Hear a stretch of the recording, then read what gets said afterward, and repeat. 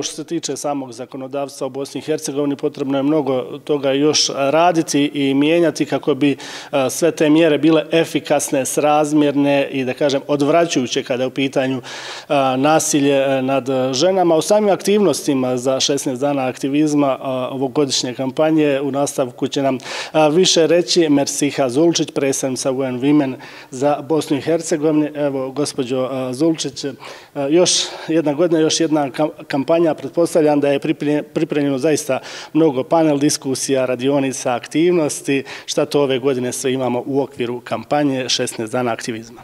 E, kao prvo, dobro jutro vama i dobro jutro svima u studiju kao i vašim gledalcima. E, da, svake godine kampanja je, znači, dešava se, jel, e, 25. počinje 25. novembra, završava se 10. decembra. Ovo je globalna kampanja koju UN Women u Bosni i Hercegovini realizuje u tom periodu. Mi danas otvaramo kampanju zato što je zbog praznika. Ove godine kampanja ima fokus femicid, to je zapravo globalni fokus kampanje. Počinjemo u parlamentarnoj skupštini Bosne i Hercegovine gdje se trenutno i nalazimo. Kao što već rekao ste, počinjemo sa panel diskusijom. Želimo, prvo kampanja uvijek ima za cilj da podizanje svijesti javnosti javnosti. Ove godine, obzirom da je fokus na femicidu, želimo isto tako ukazati na potrebe reforme zakona kao što ste ispomenuli u cijeloj Bosni i Hercegovini. Želimo isto tako ukazati na uključivanje muškaraca i mladića u borbu protiv nasilja na ženama i djevojčicama, kao i šire javnosti u Bosni i Hercegovini i naravno želimo utistati na to da se usluge i servisi za preživjele žrtve nasilja poboljšaju što je to i moguće u skladu sa Istanbulskom konvencijom naravno. Da li će biti, e, da kažem, samo fokus na Sarajevu ili će da budu uključeni još neki gradovi u Bosni i Hercegovini? A, Pa svakako, kao i svake godine, tako e, i ove. Kampanja počinje u Sarajevu, to je nekako sada tradicionalno, u glavnom gradu. Imamo središnje događaje kampanje, ko prvi je u Mostaru 28. novembra sa fokusom na sigurne gradove i e, sigurne javne prostore. 3. decembra kampanja nastavlja svoj put u Banja Luci gdje ćemo razgovarati o ljudskim pravima kao i femicidu i 6. decembra kampanja je predviđena i bit će održana jedan dio e, kampanje u Bihaću. Tu ćemo razgovarati o e, migrantkinjama, o e, marginaliziranim e, zajednicama kao što je romska zajednica i e, ženama iz ruralnih područja, zapravo o prevenciji i problemima koje se susreću žene iz tog područja Bosne i Hercegovine. I kampanju završavamo u Sarajevu 10. decembra sa fokusom na nekako i to je postalo tradicionalno na omladinu.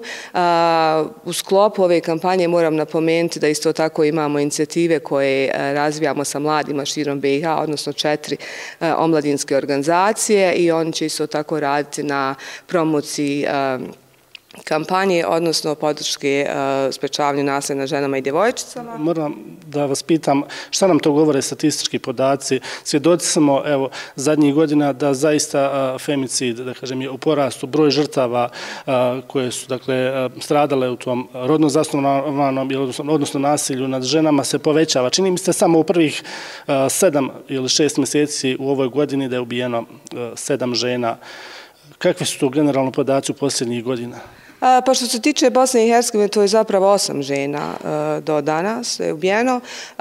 Sama činjenica da je fokus kampanje globalno femicid vam govori o tome da je broj žrtava nasilja, odnosno broj žrtava ubijenih žena u porastu.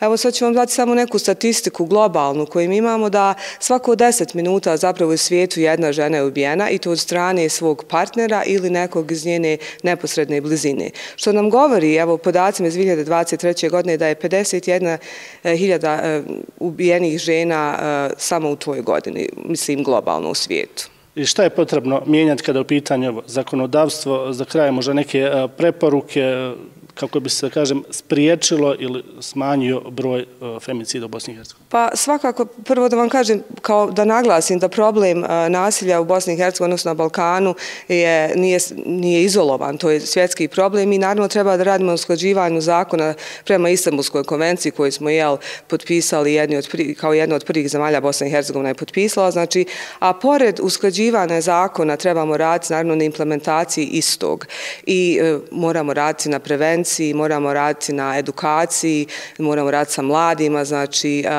jako puno posla ispred, ispred nas, uključujući institucije, pozivane institucije da isto tako obrate pažnju na zakon i zakonske okvire i ono čemu smo se mi obavezali tom Istanbulskom konvencijom, kao i civilni sektor koji, se, koji je jednako uključen u ovu tematiku.